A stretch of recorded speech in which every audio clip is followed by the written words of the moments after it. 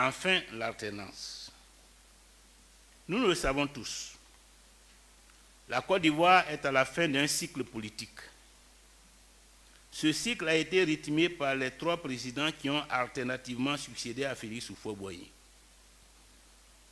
2025 verra l'ouverture d'une nouvelle phase dans l'histoire de notre pays. Nos compatriotes éprouvent une envie de changement, une envie profonde de changement. L'alternance, c'est quelque chose de sain et de naturel dans une démocratie. C'est une respiration.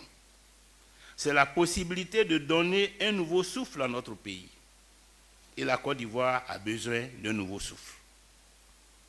Quel est le bilan aujourd'hui pour le RHDP Des résultats macroéconomiques flatteurs, un taux d'endettement alarmant, un niveau de corruption écœurant, une misère révoltante, un indice de développement humain en régression qui place la Côte d'Ivoire en queue de peloton des pays du monde, une espérance de vie à la naissance en recul de 58 à 57 ans. Les Ivoiriens vivent mal et moins longtemps. C'est ce que les chiffres nous enseignent. Ces résultats disqualifient tout discours sur la réussite économique de la Côte d'Ivoire. La Côte d'Ivoire va mal. Notre vie politique est aujourd'hui rythmée par des scandales de corruption à répétition qui mettent à mal la confiance envers nos dirigeants et nos institutions. Sur le plan social, en ville comme à la campagne, nos compatriotes souffrent. Nous sommes à leur côté lorsque les familles entières sont victimes de déguerpissement au mépris des règles élémentaires d'humanité. Nous sommes aux côtés de nos producteurs de cacao, victimes d'un système inique de fixation du prix qui les maintient dans une situation de pauvreté endémique. C'est pour défendre leurs intérêts et leur dignité que nous avons demandé la création d'une commission d'enquête parlementaire. En 2025, nous porterons la voix du peuple de Côte d'Ivoire. Ce peuple qui se lève tôt et se couche tard.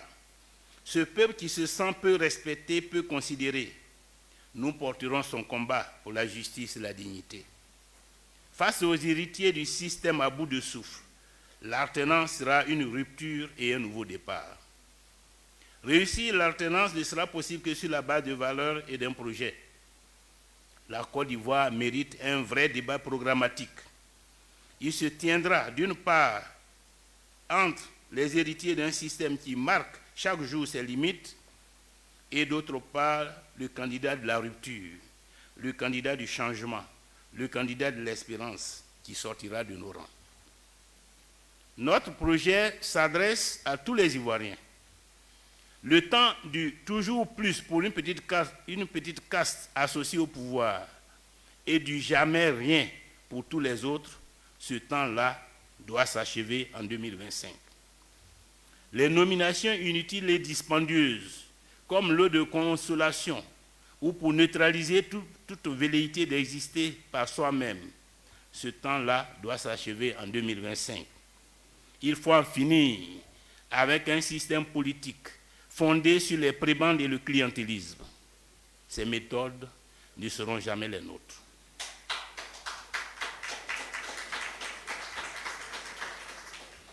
Notre ambition est de fonder une nation démocratique, unie dans sa diversité socio-culturelle, ouverte sur le monde, dont la prospérité est durable, assise sur une économie industrielle, diversifiée, compétitive et pourvoyeuse d'emplois. Cette ambition passe par quatre ruptures. Rupture au niveau de l'État et de la pratique du pouvoir. Il faut sortir de l'État centralisé, qui est en même temps une centralisation des moyens financiers, des pouvoirs politiques et qui génère inéluctablement le népotisme. Pour aller vers un État décentralisé. La décentralisation sera au centre de notre projet politique. C'est cela la première rupture.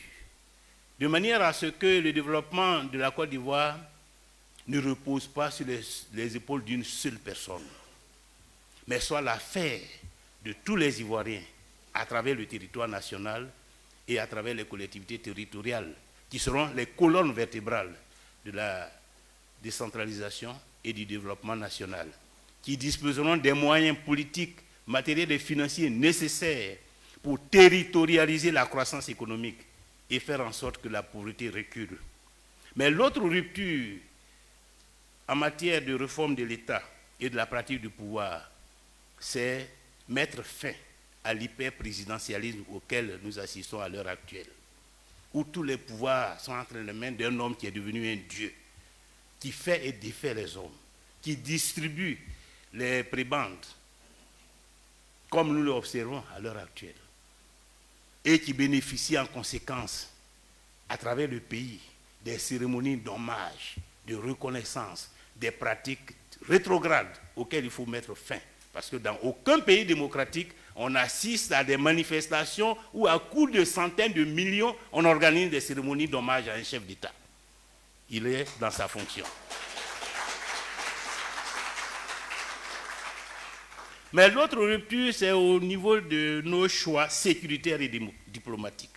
Nous avons décidé de faire de la sécurité et de la diplomatie un même défi. Parce que la sécurité et la diplomatie sont les deux faces d'une même médaille. Comment prévenir les conflits Et comment, en cas de conflit, défendre l'intégrité territoriale? C'est pourquoi nous ambitionnons de faire de la Côte d'Ivoire une référence en matière de sécurité et de défense dans la sous-région. Mais je reviendrai là-dessus. Mais comme vous le savez, aujourd'hui dans le monde, aucun pays ne peut compter sur sa seule force militaire. C'est pourquoi la diplomatie est développée, pour anticiper, pour prévenir les conflits. Et donc c'est pour cela que nous allons faire la rupture. Parce que comme vous le savez, notre pays est dans une zone de turbulence à travers tout ce à quoi nous assistons dans la sous-région. Notre diplomatie est en panne. La Côte d'Ivoire est en conflit pratiquement avec les grands voisins avec qui nous avons vécu, nous avons entretenu des relations de fraternité, de coopération depuis les temps coloniaux jusqu'à aujourd'hui. Il faut mettre fin à cette situation de conflit et de crise pour renouer avec tous les pays autour de nous parce que nos sorts sont liés. Par l'histoire, par la géographie, par l'économie, et c'est ensemble que nous devons faire face à toutes les menaces auxquelles chacun de nous est confronté. La troisième rupture, c'est la rupture au niveau de notre modèle de développement. Ce modèle de développement transforme les Ivoiriens en ouvriers des puissances économiques internationales. Les Ivoiriens sont devenus des ouvriers.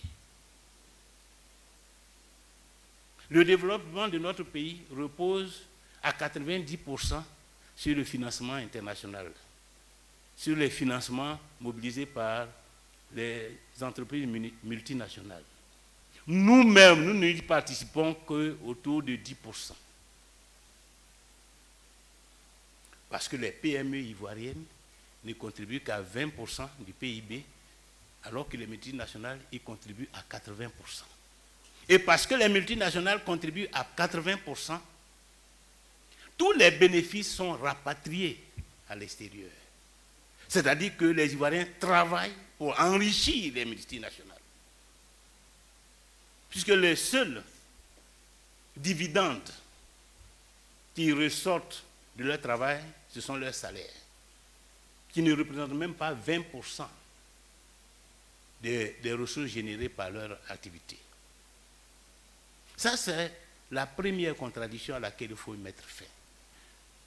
Pour que le développement du pays repose d'abord sur les Ivoiriens, sur les initiatives des Ivoiriens, sur le financement, les ressources financières des Ivoiriens. De manière à ce que les bénéfices, la valeur ajoutée restent en Côte d'Ivoire et contribuent à sécuriser le développement euh, national. Ça, c'est la première contradiction à laquelle il faut y mettre fin. La deuxième contradiction, c'est que du fait de cette économie extravertie, nous sommes dépendants financièrement de l'extérieur. L'argent que nous, utilisons nous est prêté par l'institution financière internationale. Le financement privé vient de l'extérieur. Le financement public aussi vient des puissances financières internationales. De telle sorte que la Côte d'Ivoire est à tout point de vue dépendant de l'extérieur.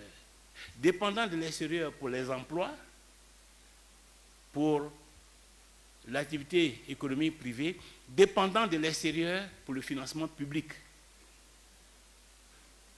Il faut mettre fin à ces deux dépendances.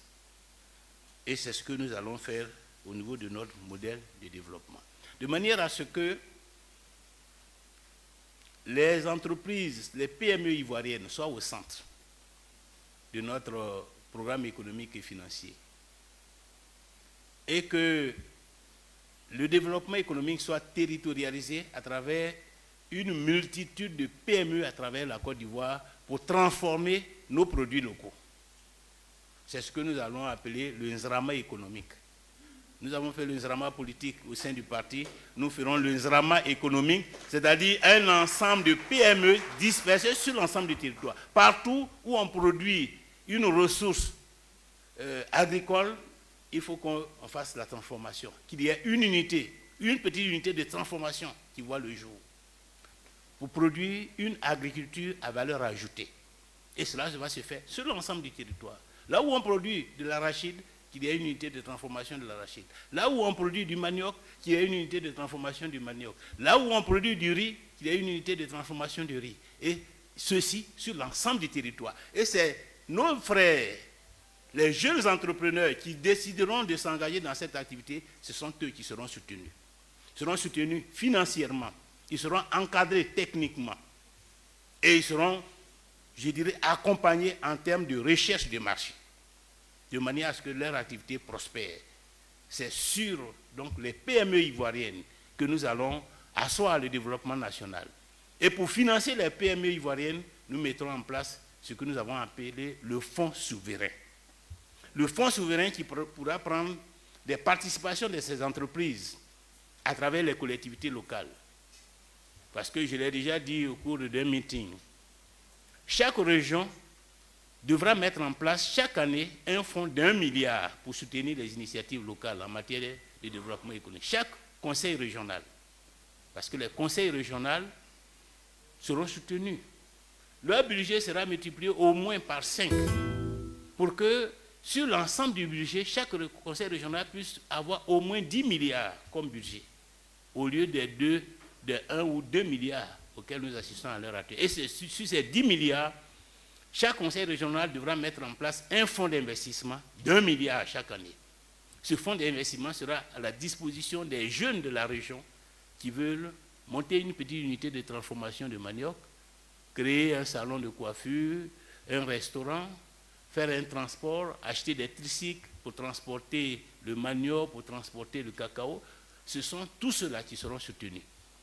Ceux-mêmes qui veulent aussi euh, produire euh, du maïs, comment nous les accompagnons? Et à ce niveau, nous ferons une grande réforme euh, au niveau foncier pour moderniser l'agriculture, pour faire en sorte que ces jeunes puissent accéder à la terre.